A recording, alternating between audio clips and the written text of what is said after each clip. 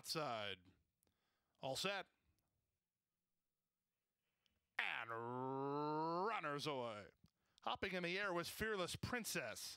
It was a good start for Ansi Dad, who tries to establish a clear early lead from New York Jackie, who comes away racing second, seeking the storm from the top shelf, trying to cross over, and in a bit tight there is Weight of Gold as they circle the first turn. Taking the worst of it four wide, Petite Lapine and Classy Klepper save ground toward the inside.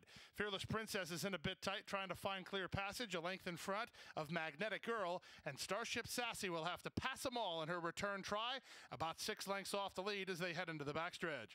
It's Ansi Dad in front after the opening quarter went in 24 and 2. New York Jackie is off the fence to be second, seeking the storm third. Fearless Princess between horses.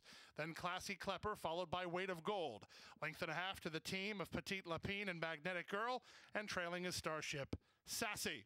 Inside half a mile away, and Ansi Dad tries to do it every chop here. Leads it by a length and a quarter. New York Jackie inching closer while second. Fearless Princess is third, seeking the storm.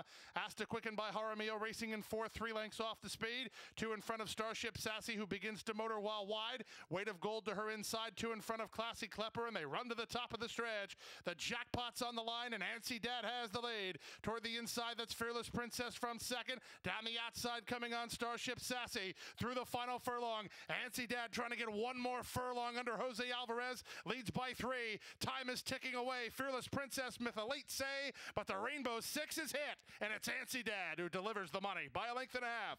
Second is Fearless Princess, then Starship Sassy and New York Jackie. It's a photo for fifth between Seeking the Storm and Classy Klepper in 129 and 3.